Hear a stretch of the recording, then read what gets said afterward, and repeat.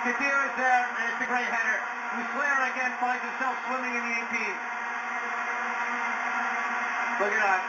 Can't get to that ball, but it, again, he's all over the place.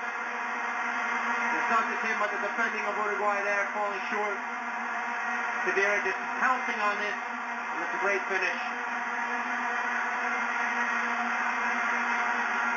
Picked the perfect spot, didn't he? No problem, really.